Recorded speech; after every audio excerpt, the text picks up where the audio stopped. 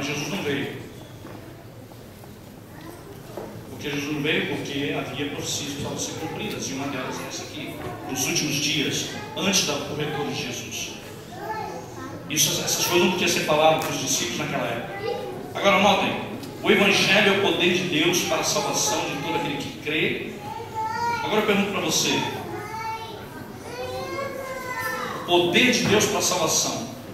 Paulo diz também em Efésios 2, 8 e 9 que pela graça nós somos salvos. E é um dom de Deus. Não vem de vós. É um dom de Deus. Efésios 2, 8 e 9. Não vem de obras para que ninguém se glorie. Interessante isso aqui. A salvação é um dom de Deus.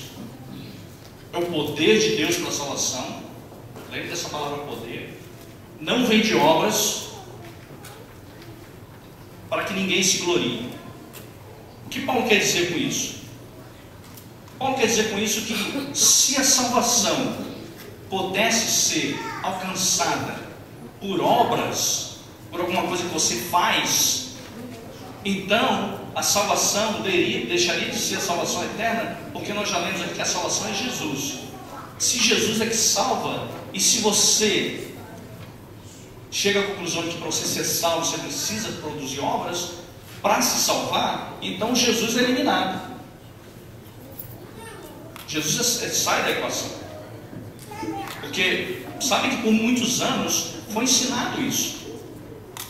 Que para você se salvar, você precisava cumprir penitência, você precisava fazer. Eu nunca fui católico, mas quem já foi católico sabe. As exigências. Né? Hoje, no mundo moderno, você precisa dar dinheiro para a igreja, né? você precisa comprar. Aliás, no passado também você comprava as, as indulgências.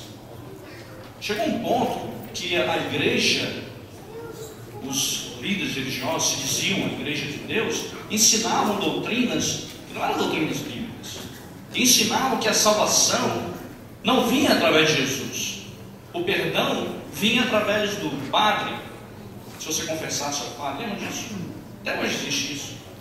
Eu não estou aqui condenando religiões, estou mostrando para vocês como nós aprendemos muitas vezes e, e, esse, e essas ideias elas acabam chegando na igreja verdadeira, na igreja cristã. Mas a Bíblia diz que a salvação vem através do Evangelho que é Jesus, não vem de obras. Isso aqui é um problema. Porque ah,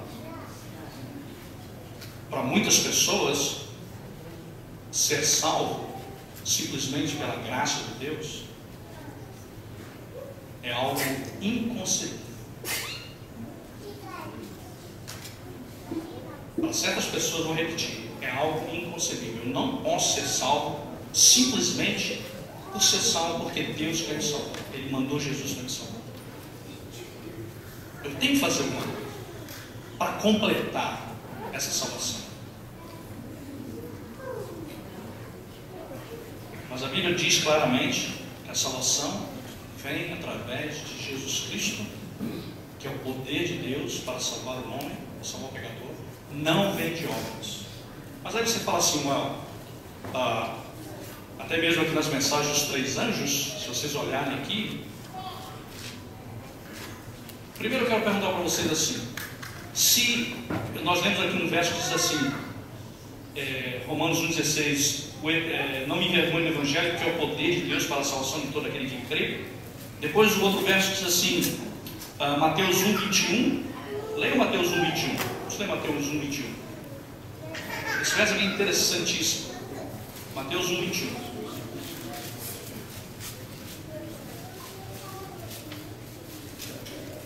Diz aí, quem achar primeiro que eu pode ler. Mateus 1, 21. Quem achou, eu achei. E dará-vos um filho e chamará o seu nome Jesus, e ele salvará o seu povo dos seus pecados. Jesus foi enviado para salvar o seu povo dos seus pecados. Então, se eu aprendo na Bíblia que Jesus foi enviado para me salvar dos meus pecados, o que, que eu aprendi? Eu aprendi que a salvação é Jesus. Agora a questão é a seguinte: esse aqui é um problema que existe no mundo atual. Ok? Pense comigo. O que é pecado?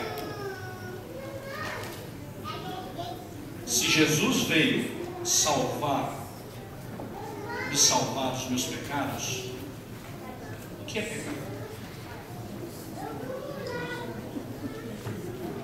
Alguém sabe definir o que é? Biblicamente falando. Transgressão da lei. Transgressão da lei.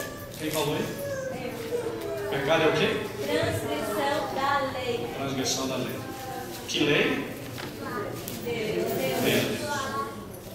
Então, Jesus veio para me livrar, para me salvar da transgressão da lei. Se o pecado é transgressão da lei, Jesus veio me salvar da transgressão da lei. Concorda? É uma análise correta? Jesus veio me salvar da transgressão da lei. Porque Mateus 1,21 diz que Jesus foi enviado para salvar o seu povo dos pecados deles. E se pecado é transgressão da lei, existe outra definição? É complicado isso aqui, irmãos? É complicado para vocês? Sim ou não? Não. Quem acha que isso aqui é complicado? Não consegue entender isso. Para mim é simples. Jesus é o poder de Deus. Se você decorar esses poucos versículos, você está preparado para testemunhar o mundo. E se você fala espanhol, português e inglês, pronto, aí você pode testemunhar em três minutos.